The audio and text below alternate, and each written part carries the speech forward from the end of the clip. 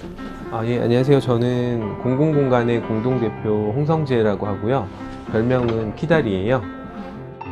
저희는 3년 전에 창신동에 미술 선생님으로 처음 왔어요. 그러면서 예술 공간을 처음 만들게 됐거든요.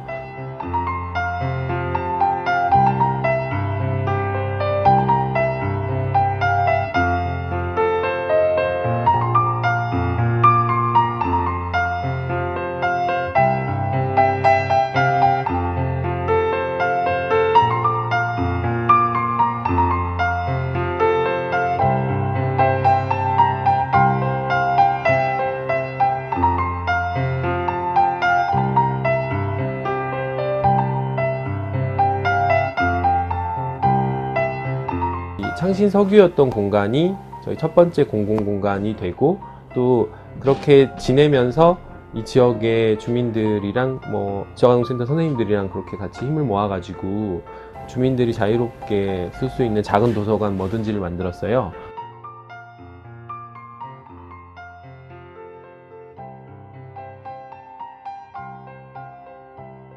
봉제마을이 옛날처럼 되게 힘들고 고되게만 일을 하는 게 아니라 저희 같은 젊은 디자인하는 친구들이 와서 21세기형 봉제 마을을 만들고 있어요.